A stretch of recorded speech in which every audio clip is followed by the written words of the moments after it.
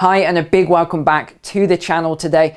Today's video has been requested so many times in the last few months that I've lost count. So the question was, Neil, will you make a video explaining, just like you did with the housing crash and other markets, exactly how and when the stock market will crash either in 2020 or 2021. So that's exactly what I'm going to deliver to you today, a step-by-step -step process of exactly how the stock market is and it, and it is going to crash very shortly. So the first thing before we get into the seven steps is most people ask me, Neil, what is the stock market? What is a share? Well, really simple. This is all you need to understand at this stage. A share is basically a percentage of that company's value. That's it. That's all you need to know right now. And the stock market is basically an accumulation of all of the companies within the stock market. So stage one then is unrealistic and rapid growth. Now, if you're a student of economic history like myself, you only need to look back at previous stock market crashes and you can see there tends to be this rapid growth uh, which is usually unrealistic and not really connected to anything just before any crash. And I think that's exactly what we're seeing again now. A lot of people said back in, you know, earlier this year in spring that this was the big drop off that we'd had. And I said back then, no, that really wasn't it. That was just a blip. And I wasn't surprised at all when the stock market regained everything that it lost back in the springtime. Now, if we look at the 08 crisis, which a lot of people are comparing the current crisis we're into, I would say that's probably the wrong crash to look at and analyze. I really don't think that's correct, what a lot of economists are talking about and comparing it to. I think we're better off comparing it the most um, like for like recession is the 1929 Great Depression in the United States.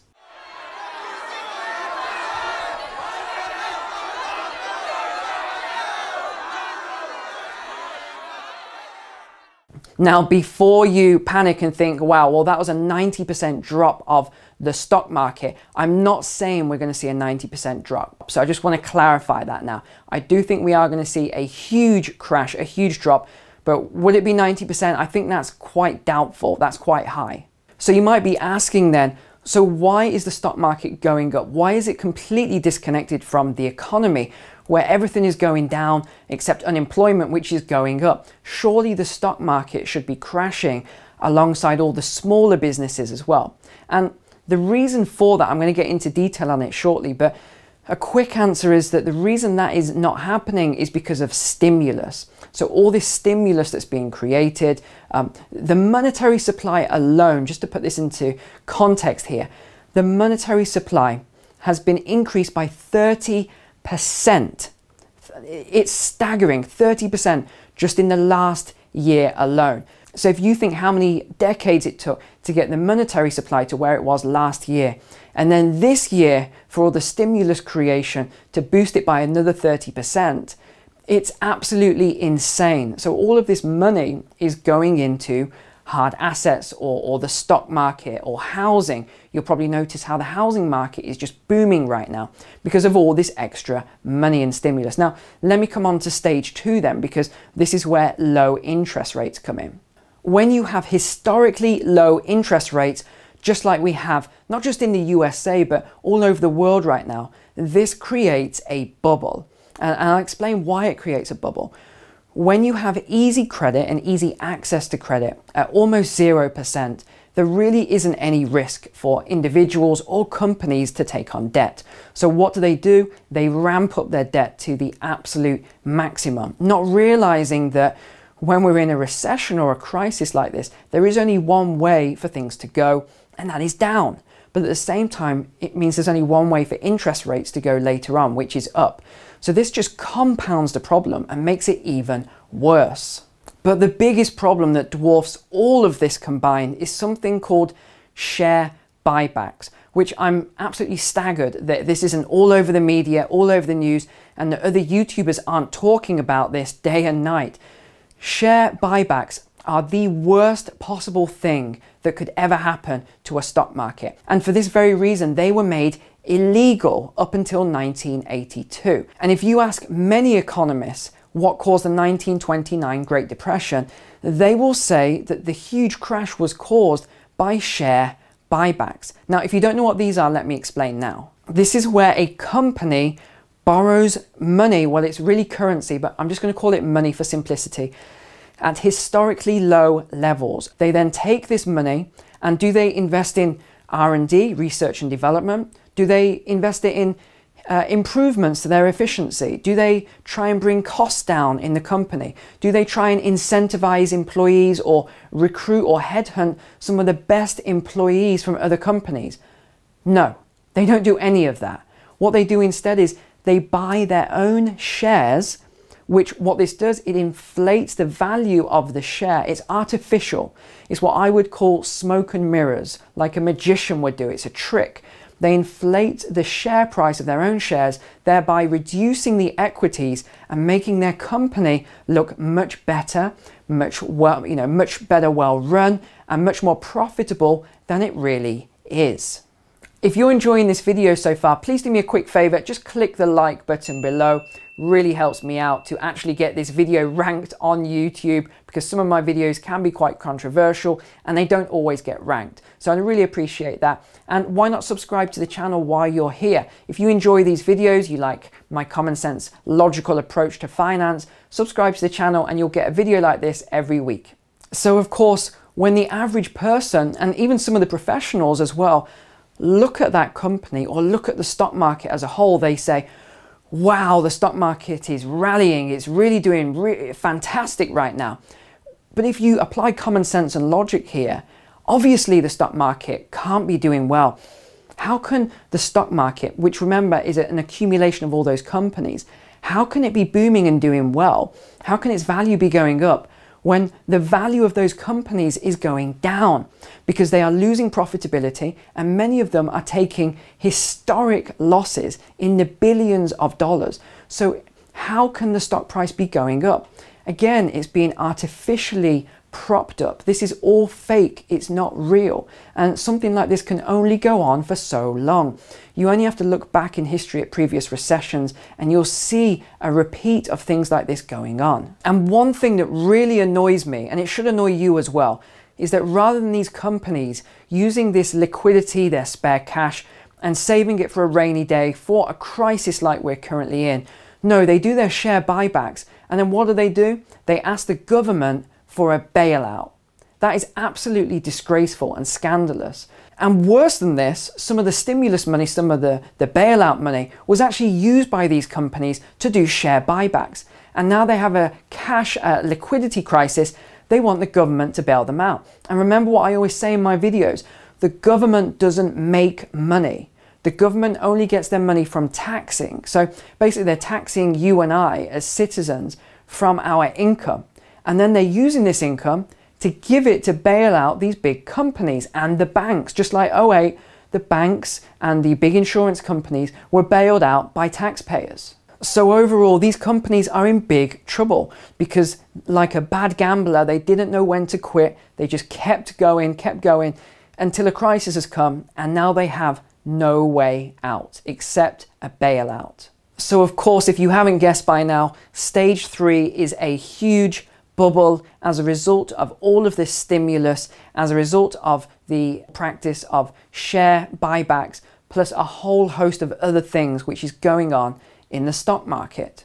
Not least of which, and this is a really controversial subject, the Federal Reserve buying assets. Yes, you did just hear that correctly. The Federal Reserve is buying assets. And you might think, well, how can they do that? Is the Federal Reserve a government institution? No, it's not. It's a private institution. They create money out of thin air and then they loan it to the government, to commercial banks at an interest rate. So, why is the Federal Reserve allowed to purchase all of these big assets and treasuries and bonds? And this is the crazy thing, and you can fact check this if you don't believe it. As of this week, the Federal Reserve, a private institution, owns over one third of all mortgages in the United States. So that means that one in every three of you watching this right now, the Federal Reserve owns your mortgage. Stage four then is when the crisis comes about. And it doesn't matter how the financial crisis comes about. In the 2008 crisis, this was a mortgage based crisis uh, brought on by subprime loans, also ARMs, adjustable rate mortgages, known as variable rate mortgages in other countries. When the initial rate ended, a lot of people couldn't uh, pay the mortgage anymore at a higher rate and they defaulted on their mortgages, and the whole house of cards just collapsed upon itself. If you haven't watched that video yet, it's on my channel. Say it's probably the best video I've ever produced so far. And it really goes into detail and explains how the next housing crash will happen. It's got just under 2 million views on that video, so I would highly recommend you watch that.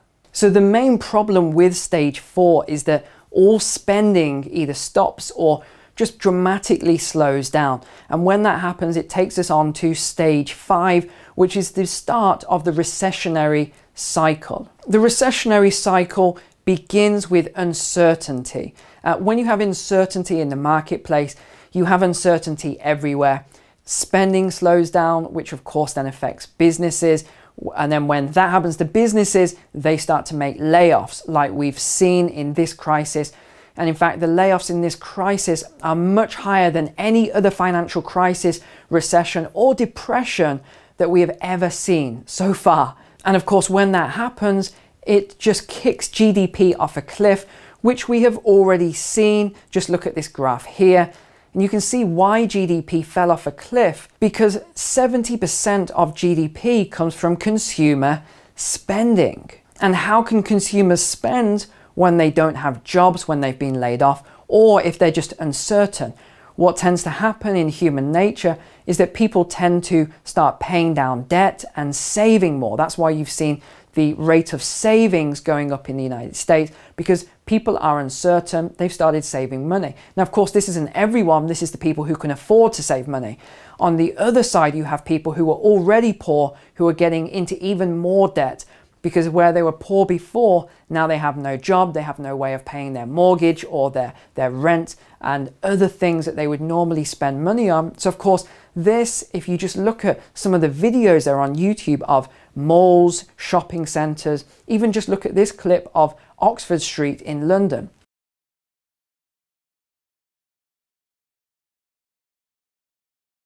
Now, Oxford Street is normally absolutely booming. You cannot walk down the street at this time of the year.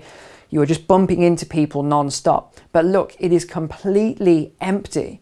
This is just insane. And another example I can give you is that just last week I went to a theme park. And on a nice day like this, this theme park is usually full. Just think about Disneyland and other places, they are full. But actually, I would estimate that it was only at about 5% capacity. At most, I would say 10% capacity, and half the rides and half of the restaurants were closed down. And if we just look at retail on the high street, just look at the statistics from Yelp that are coming out. They are absolutely scary. And even if you look at the amount of restaurant and retail closures, they're estimating that around half of these will never open again. They will never reopen.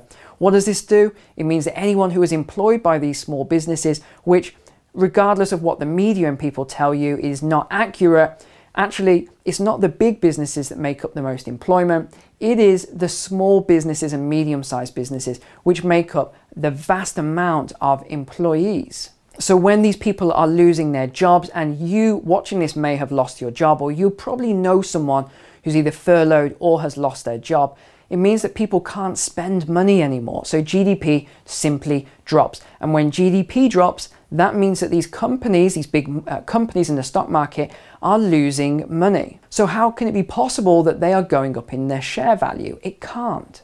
Or should I say, it can't for very long.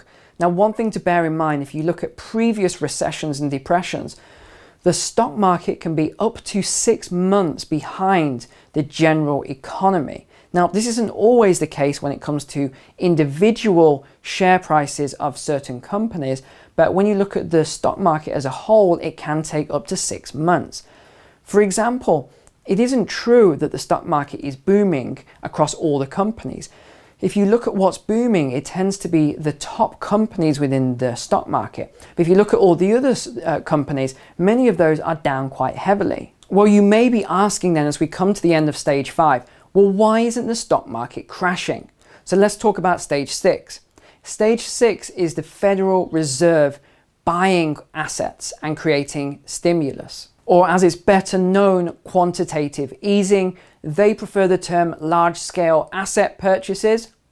But this is what is holding up the stock market right now. Is all of this new stimulus money creation which is basically just inflating the price of everything. And you can see it in housing as well. It's going to housing, it's going to stocks and shares and other assets. And this is one of the reasons that I say that cash that isn't invested, it's just sat in the bank, is not always a good idea. Yes, it's good to have some cash available for when there are crashes and crises so that you have money for a rainy day or so that you can purchase assets that have come down in price. But then the downside of this is when the Federal Reserve is creating all this new money, it actually depreciates the money already in existence.